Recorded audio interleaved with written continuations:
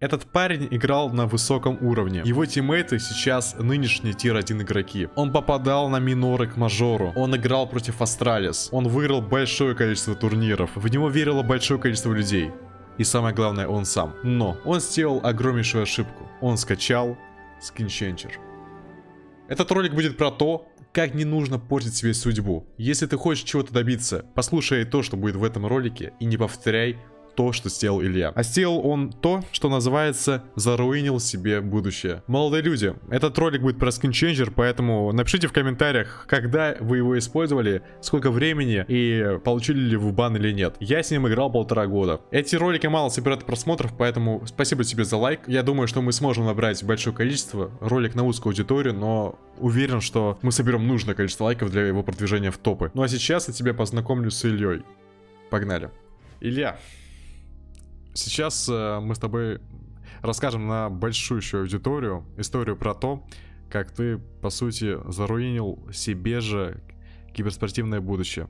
Хотя мог бы сейчас играть в тир-1 команде. Расскажи, пожалуйста, как это все происходило. Давай начнем с того, где ты находишься, сколько тебе лет и когда ты познакомился с CSGO. Так, ну, меня зовут Илья, у меня ник мой Travel, а сейчас я нахожусь в Москве, живу на данный момент, вот буквально пару месяцев. А так, все, всю свою оставшуюся жизнь я жил э, возле города Краснодар, там небольшой городок был, в общем, в Краснодарском крае на юге России. С 22 года мне, как я уже сказал. И познакомился я именно с Counter-Strike э, где-то в 2005 году, ну, как пошел первый класс, играл там в компьютерных клубах, потом мне купили компьютер, ну, как у всех, короче, это происходило. Вот, начал я играть в Counter-Strike Global Offensive в 2014 году. А, значит, в 2013 году я играл всякие про серии, там что-то пытался, пытался, не получалось. Наступил 2014 год, конец 2014.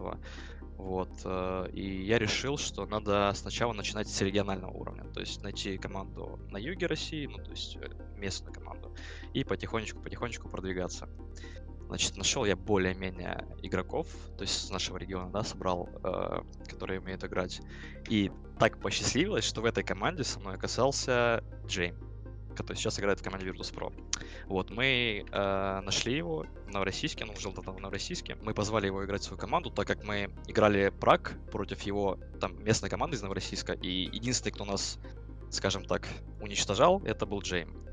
И мы решили позвать его в свою команду. Вот так мы начали с ним вместе играть с э, конца 2014 года. Мы нашли э, Паша Ножа, который сейчас играет э, в Изарел, по-моему, вот. С нами играл я, Паша Нож, Северин, который сейчас инактив, он там занимается сайтами всякими, настройками Counter-Strike.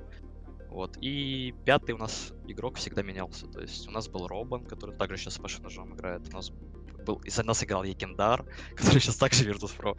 Короче, очень много людей менялось, вот, не могли никогда пятого подобрать.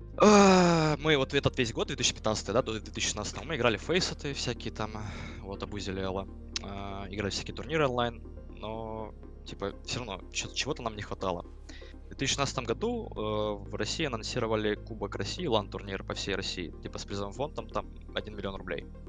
И мы решили поиграть его. То есть э, Паша Нош, он тогда жил в Петербурге, он переехал э, жить на юг ради этого. То есть не ради этого, ради вообще наша команда в целом. Он переехал жить на юг, на российскую Джейму. И вот нас было четверо. Мы нашли там плюс один, опять же, пятого рандомного, чтобы поиграть LAN. Мы играем квалификации на Кубок России LAN в Краснодаре. Выигрываем без проблем. Э, нам дают слот ну, на финалы в Москву. Это лето 2015 года. Мы поехали на эти финалы, э, выступили там хорошо, заняли второе место, могли первое, но просто как-то, не знаю, на финал не собрались, в общем, проиграли ЕКБ команде, выиграли 500 тысяч рублей, э, заработали хоть какое-то менее уважение у СНГ комьюнити к нам, потому что нас всегда считали читерами, ну, типа, потому что мы нигде там на ланах не появлялись и так далее, хотя, ну, хорошо, вы, знаете, играли в онлайне, заработали какое-то доверие, и нас подписала первая организация на тот момент, это, было, получается, была южная организация с Краснодара, Нова eSports он тогда называлась, вот, нам даже выдали форму, должны были быть контракты с зарплатой. Кстати, зарплата на тот момент должна была быть 100 долларов. Это было прикольно. Но все равно круто было. Вот. В итоге нам ничего не выплатили за три месяца, которые мы там играли. Просто кормили завтраками, как обычно. Вот. Интересный момент я забыл. Весна 2017 года. Получается, квалификации на минор к Кракову, там, где Гамбиты выиграли. Вот.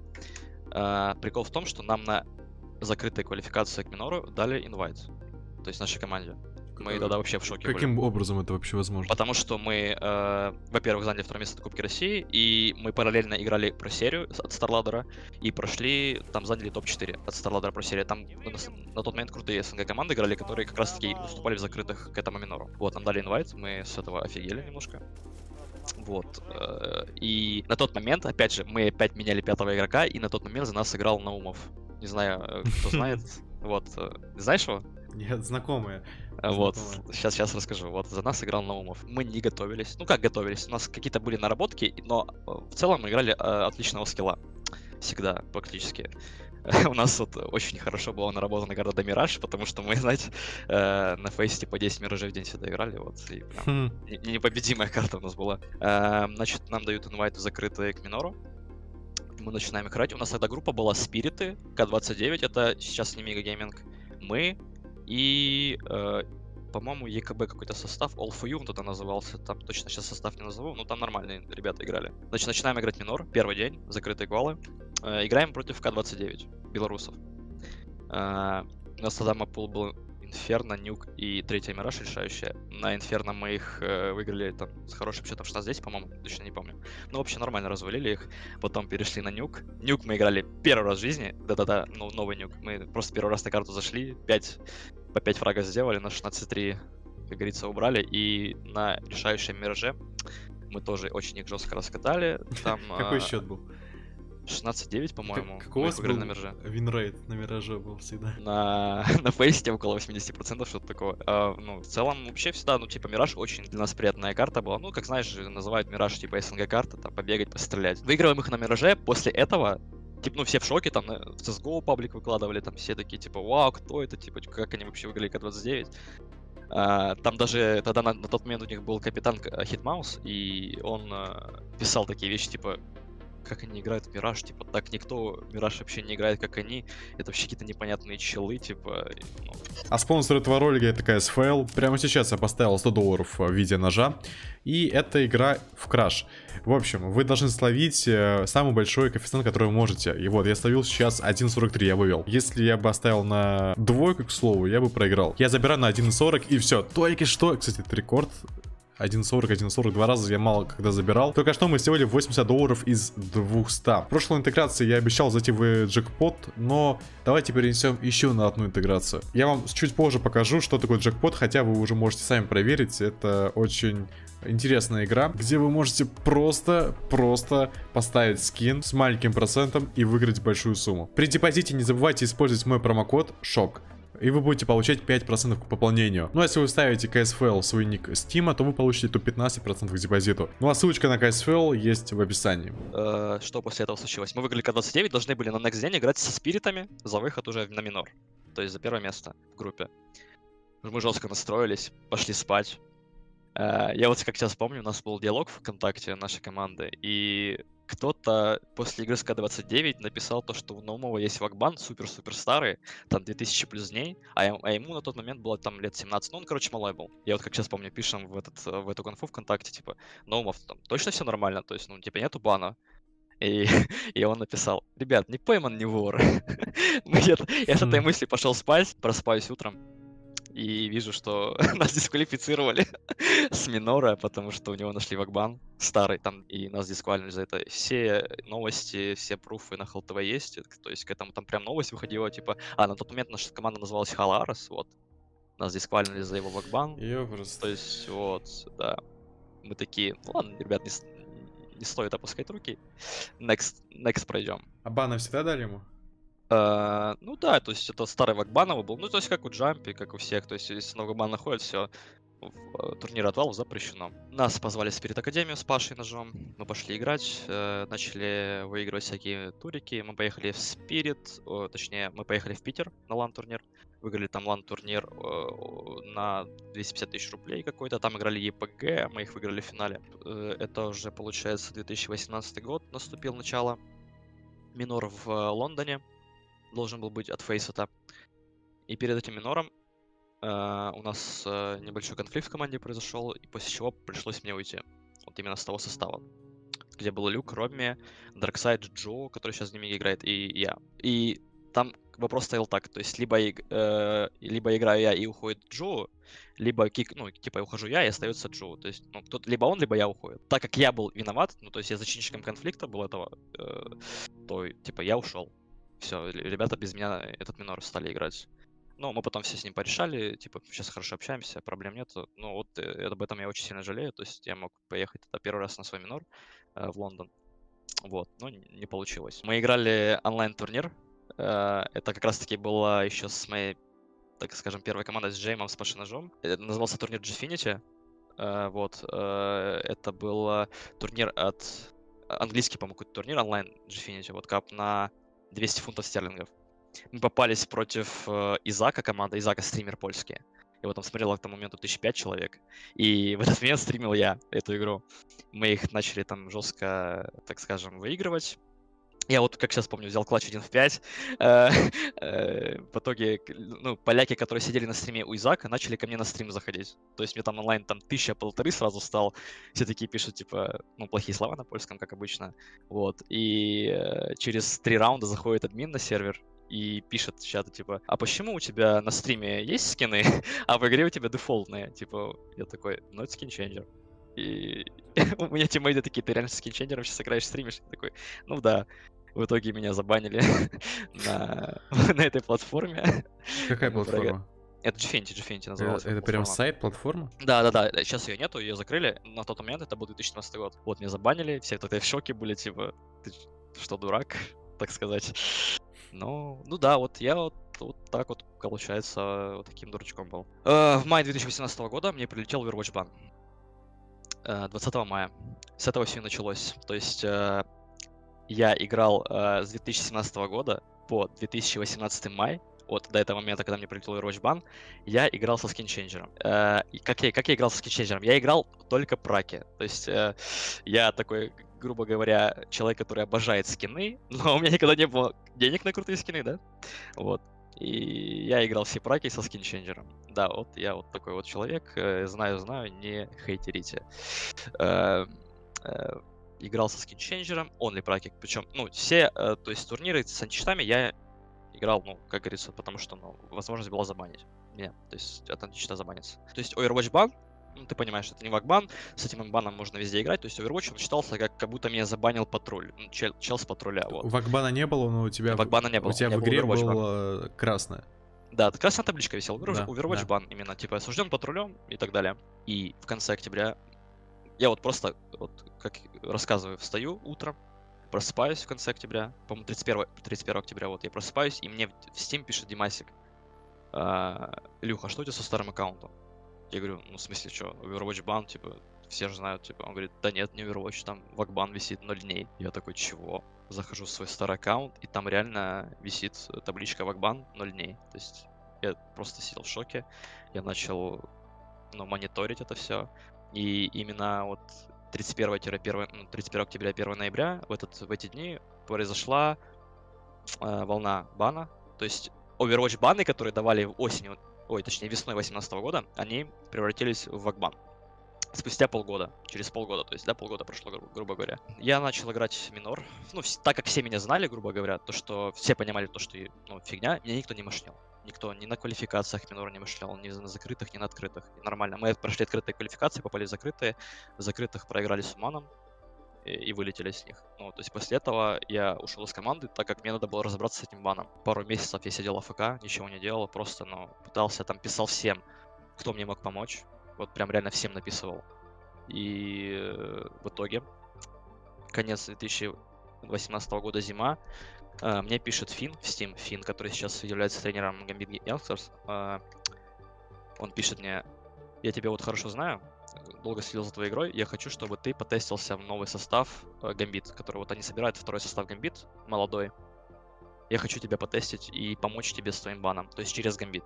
Я говорю, окей, без проблем, давай попробуем. Я еду в Москву на несколько буткемпов, там очень было много людей, которые тестились в этот состав. Э, Кто? Назови трех людей. А, трех, ну, который сейчас состав. Э, короче, тестился Шира, Интерс, Нафаня, я, а, тестился... На самом деле там реально очень много, там человек 20 было, ну в онлайне, это было в онлайне. Да, то есть сначала было в онлайн, то есть мы играли праки, там разные составы были, там было 20 человек, мы играли разными составами праки против, ну, крутых челов. Uh, смотрели, кто как коммуницирует, кто как играет, кто как понимает игру и так далее. То есть из, в итоге из этих 20 человек осталось там человек 8, и эти 8 человек катались на ланы. Андрюха Блейд это все организовал, uh, опять же, он нас много, много, э, много чему научил, потому что он, у, него реально очень крутое понимание игры. Просто он нам такие штуки рассказывал. Я сидел вот с такими глазами, просто не понимал, что происходит, но и я, я тогда очень круто бустанулся, на самом деле, в плане индивидуального скилла. Получился состав, значит, Gambit Youngsters э, в итоге какой? Я, Шира, Интерс, Нафани и Супра, эстонец. Вот. И нам дали контракты на два года, мы их подписали. Все, то есть мы должны были играть. А дело осталось только за тем, чтобы решить проблемы с моим вакбаном. Это, получается, февраль 2019 года, перед мажором. Мы поехали на двухнедельный буткемп э, в Сколково. У нас был буткемп, блин, там очень круто, на самом деле, в этом Сколково. У нас был огромный дом, э, инновационный такой, знаешь, с инновационными технологиями. Там очень круто было. Мы очень провели двухнедельный полноценный буткемп разбирали всякие карты, там фишки, смотрели демки, бустили свой индивидуальный скилл, Блин, ну это реально, это мой лучший буткемп был, на котором я был. Я просто так кайфовал, это просто нереально что-то было. Вот, у нас был даже, мы сделали, вот мы, мы просто делали по системе Astralis. У нас был определенный график, прям с расписанный на две недели, и, и старались его держаться. И я на тот момент почувствовал, что этот, эти две недели, наверное, были лучшими по в плане индивидуального скилла, в плане отдачи, самоотдачи э, вот за все время, что я играю в Counter-Strike. То есть круче, чем там, я, я никогда не играл. Приехал на этот буткемп наш менеджер Александр. Вот, он позвал меня в комнату, мы с ним посидели, поговорили. Я ему полностью все рассказал от начала до конца, э, что у меня за проблема, типа как она появилась, э, ну, типа, я ему просто рассказал, что вот Skin Changer был такая программа, я ему все полностью от Ада, от я рассказал, ну, как я с ней играл, где, почему, какие баны и так далее. Он все это записал, типа, и сказал то, что он поедет э, в Катовицу на мажор общаться с э, представителями компании Valve по этому поводу. Ну, а мне оставалось только ждать. Вот. Значит, э, после мажора он приехал, и мы начали с ним общаться, и он мне сказал то, что он попросил, типа, есть ли вариант мне как-то разбаниться, так как я играл uh, с программой, которая не дает преимущества в игре. Ну, то есть Skin Changer это что, по сути? Это программа, которая просто меняет твои скины в игре. И даже uh, в, в самой, ну, Вакбан, то есть в Steam написано то, что Вакбан дается только за программы, которые дают преимущество в игре. Вот. Да не, мне кажется, там ну, есть не, не, приписка нет. именно о том, что я, заменяющие я, я... Э, скины, мне кажется, именно такое есть. Ну, с, ну, может, ну, на самом деле я не видел этого, но как я вот читал, то есть Valve Anti-Cheat, Вакбан, э, вот, неважно, что внедряется, то есть если это, если это дает преимущество в игре, то типа Вакбан по факту осознанный и так далее, то есть, ну, я, я считаю, что, допустим, э, за скинчейдер стоит давать бан, но не стоит, допустим, делать так, чтобы ты не смог участвовать на турнирах. Ну, то есть, по сути, это же штука, которая не давала мне преимущество в игре, это просто как картинки, да, по сути. И на это ему ответили люди так. То есть, э, да, они просерчили э, мои логи с моего аккаунта, они сказали, да, что-то он использовал, но они сказали то, что мы не можем понять, что именно он запускал с компьютера. То есть как работает Changer. Ты запускаешь программу инжектор, да, и этот инжектор, он инжектит файлы, вот эти вот замена скинов, он инжектит в игру. А, а представители Valve, они сказали то, что мы не можем разобрать, что он использовал, то есть что он загружал в свою игру, читы или просто Changer. Ну, то есть мы не можем понять, и поэтому, типа, мы не можем его разбанить на тот момент. Я понимал, что я э, дурак, да, я ну, допустил ошибку, играл с этим скинченджером, который никому вообще не нужен был, да, то есть я мог спокойно играть без него, вот, но на тот момент э, просто, ну, на самом деле все расстроились, там, прям, мне сказали, да ладно, типа, может, мы тебя как-то сможем оставить в организации, как-то, может, ты чем-то будешь заниматься, но в итоге не получилось, э, ребята продолжили играть без меня, хотя очень все хотели со мной играть, на самом деле, у нас круто получалось на тот момент, прям такая синергия между нами крутая была. В итоге, ну, разорвали контракт со мной, Гамбита, и я повернулся домой к себе в Краснодар. Две недели сидел просто в тилте, не понимал вообще, что делать дальше, потому что я столько времени на Counter-Strike потратил по факту, я вообще, ну, кроме Counter-Strike, я ничего не умел. То есть я не знал, что дальше делать. Я просто сидел в тилте, потом в итоге я решил стримить. Может быть, как-то разрулится, не разрулится. Я просто решил поиграть в Counter-Strike, потому что мне нравится эта игра. Ну, и мне она нравится, и я кроме Counter-Strike ничего не умею. Ну, вроде что-то более-менее получилось, и вот до сих пор сижу и стримлю, так сказать. Вот такие дела. Просто взял и заруинил себе э, никому не нужными скинцами, так сказать, жизнь, можно сказать, не знаю, карьеру. Просто, ну вот, вступил не в том, как говорится. Все это интервью, э, хотя как интервью, ты все рассказал сам, я вообще молчал. Э, этот ролик посвящен тому, э, насколько важно не играть с такими подозрительными вещами. Играйте спокойно, запускайте единственную программу, это античит. Больше ничего не нужно. Скины, они ничего не приносят. Если хотите играть со скинами, покупайте премку у нас. Да, это хорошо. Спасибо большое всем за просмотр. Всем Если вы спасибо, идете к своей мечте, ребят, идите. Я за вами всеми слежу. Пишите мне куда угодно, если вы пробираетесь, если вы все ближе и ближе пробираетесь э, к, к топу э, того же Фейсита, того же... Короче, ребят, я уверен, что хоть один человек из зрителей этого канала проберется э, в киберспорт. Поэтому не повтори его ошибку. Спасибо, Илья. Спасибо тебе тоже за такую возможность. Всем спасибо. Пока.